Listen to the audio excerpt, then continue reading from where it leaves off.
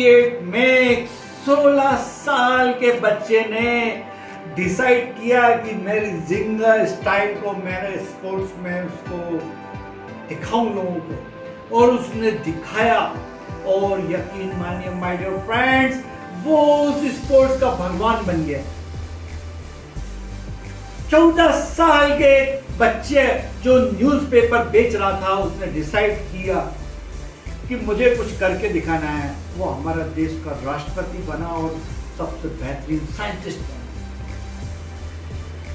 मेरा एक दोस्त जो वो अभी आपके सामने आने वाला है, वो एक दिन की पढ़ाई को केवल दो घंटे के अंदर में खत्म कर देता है smartly and intelligent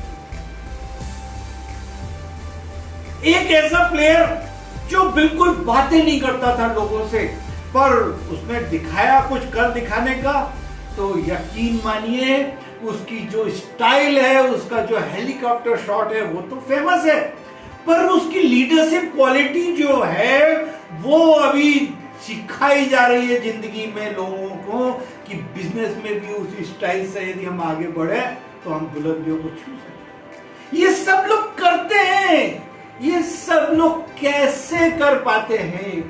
how they do it और यदि ये लोग कर सकते हैं तो my dear friends you can also do it और वो हम बताएँगे वो कैसे करना है। बस 29 और 30 अगस्त खाली रखिए। हम लोग खां गाँव वालों से मिलने के लिए आ रहे हैं। Thank you